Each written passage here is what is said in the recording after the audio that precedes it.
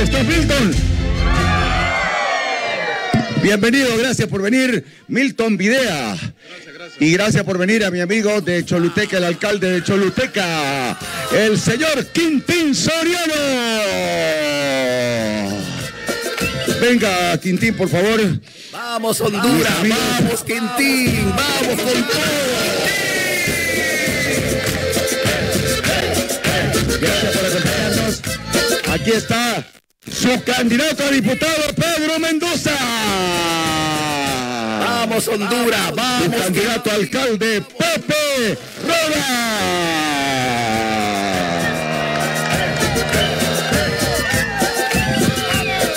Su candidato a diputado, Melvin Betanco.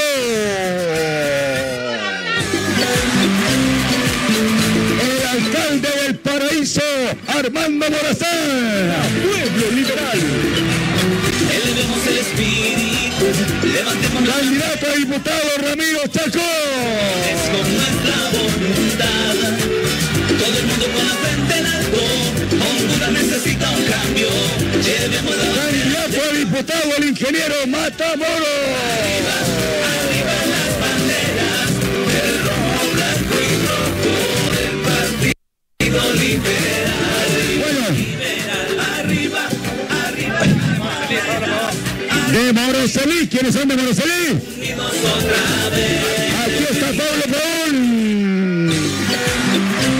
Don Domingo Rodas. Directivo de tantos años del Partido Liberal de Honduras. Elevemos el espíritu,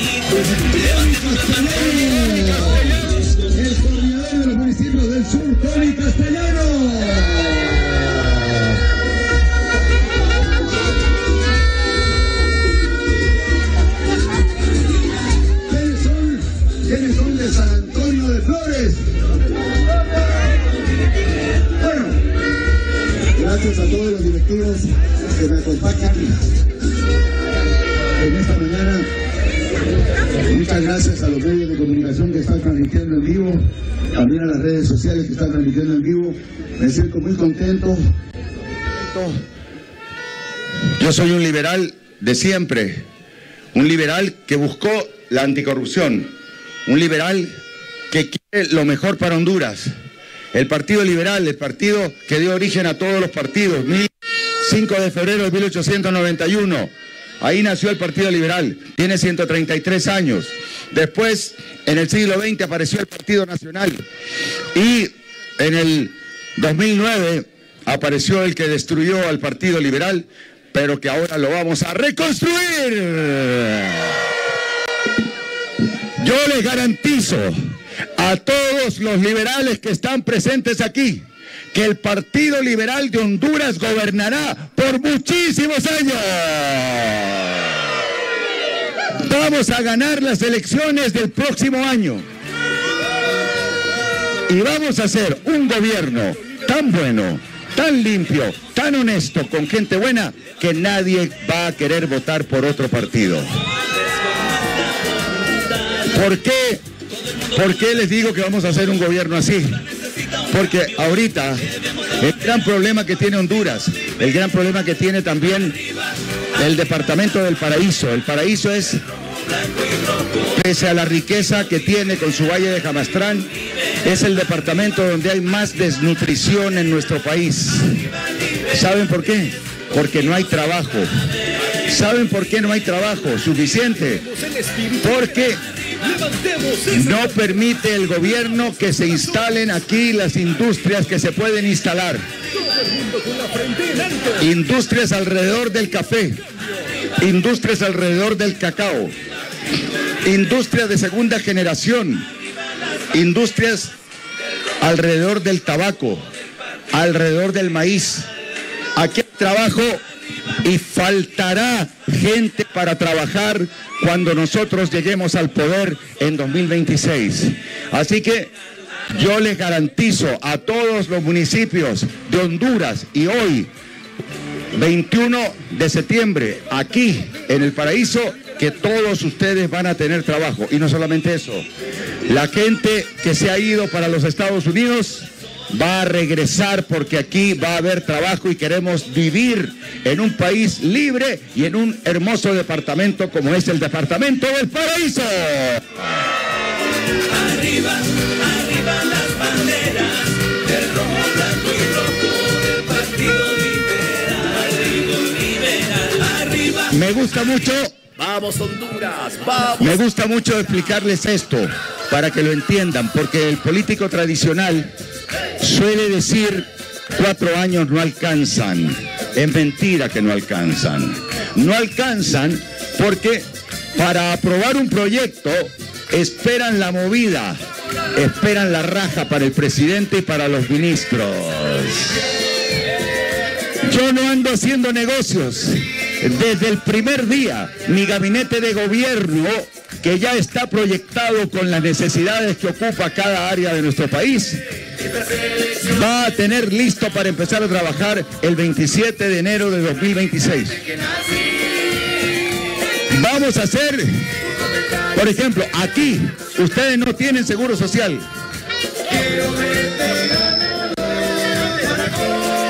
Necesitamos y vamos a hacer, porque con el gobierno municipalista, el gobierno municipalista significa que los alcaldes van a manejar la gran cantidad de dinero que se necesita para desarrollar el municipio. Actualmente solo reciben los alcaldes el 5%, pero la ley dice que deben recibir el 11%. Además de eso, aquí que producen café, tabaco, cacao, maíz, etcétera, necesitamos hacer los caminos terciarios que van hacia los lugares de producción para que los productores puedan traer su producto sin dificultad al precio que quieren cobrar allá, que lo puedan cobrar acá y que no haya coyotes intermediarios que se roben el pisto. Ojo con eso, que es una de las razones por las cuales los productos son tan caros. ¿Está barata la canasta básica? No. ¿Por qué? Porque los productos los encarece el no tener carreteras y caminos para llegar hacia los lugares donde se venden. Aquí en el paraíso, en Danlí, ayer estuve en el mercado, aquí en Danlí, ayer estuve en el mercado en el paraíso. La fruta es de alta calidad, la verdura es de alta calidad. Mucho mejor que lo que venden en los mejores supermercados de Tegucigalpa. Y más barata. Entonces, aquí tenemos que tener un centro de producción de leguminosas, de frutas, de verduras. Y va a haber trabajo para que se desarrolle esa área y también el área de ganadería, porque aquí tenemos extensas, extensiones grandes para la ganadería y para actividades de agricultura. Necesitamos que ustedes sepan que el gobierno de Salvador Narrala va a estar enfocado primero en darles empleo, después en que la canasta básica baje de precio y tercero, y no menos importante que el anterior, la seguridad. En Honduras hay una extorsión terrible y la extorsión no es tanto para el que la cobra. Hay gente que está en puestos de poder, en ministerios y uniformados que cobran el pisto que recogen los de las maras. A todos ellos les vamos a ofrecer trabajo. Va a cambiar la cosa. Me imagino que más de algún político les ofrece eso, pero no sabe cómo hacerlo. Felizmente nosotros sabemos cómo hacerlo y tenemos la gente para hacerlo. Para poder hacer esos cambios se necesita gente preparada y gente honesta. Y nosotros la tenemos. Empleo. Disminuir el costo de la canasta básica. Y seguridad para que no les cobren este- la extorsión. Pero les quiero contar además que yo participé en elecciones, como ustedes saben, siendo liberal fundé un partido llamado Anticorrupción. Siendo liberal fundé un partido llamado Salvador de Honduras. Ahora estoy en nuestro partido, en nuestro glorioso partido.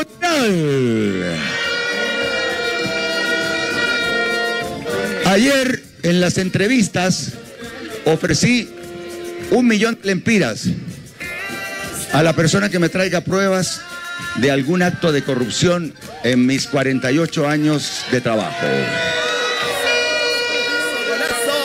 Así como Estados Unidos ofrece 15 millones de dólares por Nicolás Maduro, el íntimo amigo de Xiomara y de Mel, yo aquí les ofrezco un millón de lempiras si me traen una prueba de un acto de corrupción que yo haya hecho en mi vida.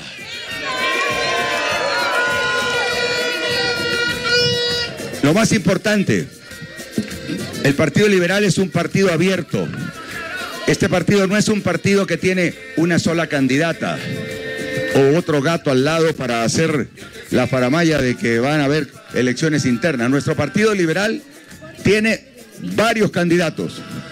A todos esos candidatos, el 9 de marzo les tenemos que ganar. Nuestro movimiento se llama Vamos Honduras. El movimiento Vamos Honduras que encabezo para presidente el 9 de marzo. Yo invito no solamente a ustedes que son liberales de pura cepa, también invito a los nacionalistas, a los que se fueron a libre, a los independientes, a que el 9 de marzo sepan que tenemos que votar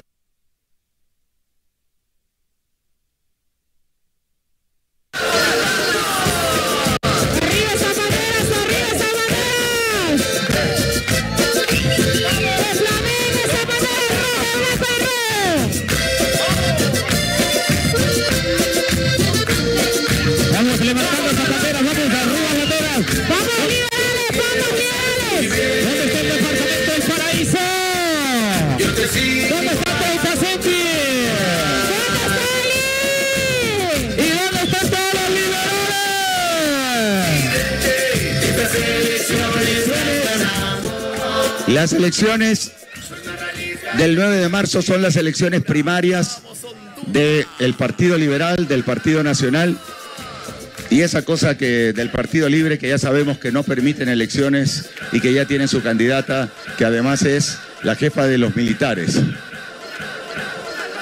En esa elección primaria se decide el futuro de Honduras. Ahí se decide. Siempre se han decidido las elecciones en las generales, pero esta vez se deciden en las elecciones primarias e internas. Ahí es donde tenemos que ganar, en las primarias e internas. Por eso, a los que me están viendo a través de Televicentro, a través de HCH, les digo, no importa que no sean liberales, el 9 de marzo vayan a votar.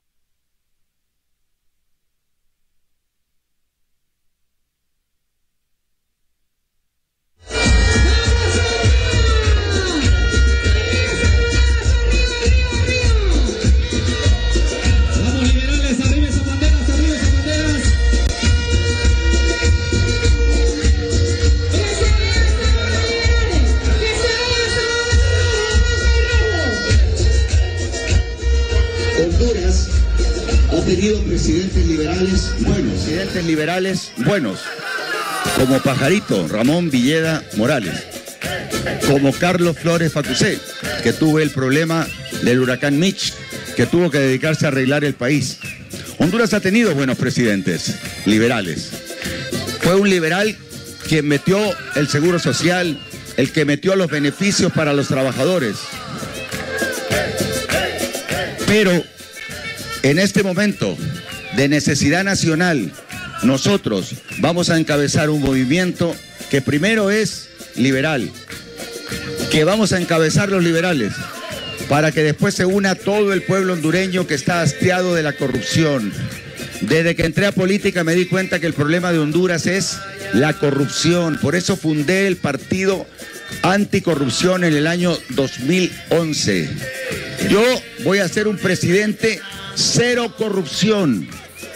Y alguna gente me dice, ¿cómo va a hacer para meter a los corruptos, a los que trafican con drogas? ¿Cómo los vas a meter preso? Quien mete preso es el Ministerio Público, la Corte Suprema de Justicia. Pero la palabra del presidente honrado es una palabra que señalará y marcará a los corruptos. Si yo, por ejemplo, pongo a un ministro y ese ministro es corrupto, se pone a robar, yo personalmente lo voy a sacar de su puesto y lo voy a exponer. El ministro fulano de tal fue ladrón y por supuesto, aunque no lo metan preso, se va a tener que ser castigado por el juicio popular de la gente. ¿Qué les parece? ¿De acuerdo?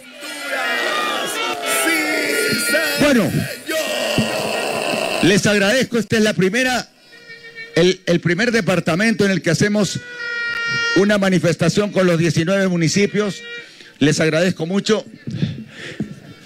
Irosca me recuerda lo que ya les dije hace un rato del Seguro Social. Yo vine hace 25 años a hacer el programa X0, me acuerdo del Hospital Gabriel Alvarado. Creo que es el único lugar al que se puede ir en Dalí. Nosotros necesitamos construir aquí en la zona oriental del país un gran hospital y también los centros de salud y los pequeños hospitales para los municipios. No cuesta nada.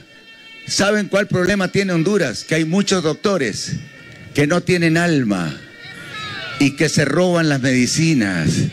Me encontré en el mercado puestos de venta de medicinas. ¿Y dónde las compraste? Le pregunté yo a los que lo venden. Allá afuera del Hospital Escuela, que es donde llegan, y afuera del San Felipe. Quiero encontrar, y si me estás viendo, doctorcillo ladrón, quiero encontrar a uno que ande vendiendo medicinas porque sos un asesino del pueblo y no lo voy a permitir.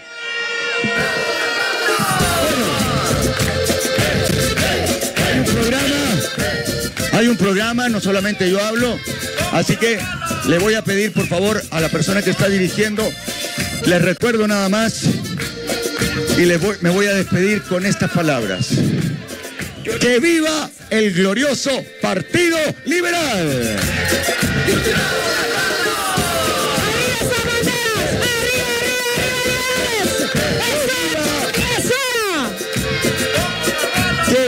Nuestro movimiento. ¡Vamos Honduras! ¡Vamos Honduras! ¡Vamos Honduras! ¡Vamos Honduras!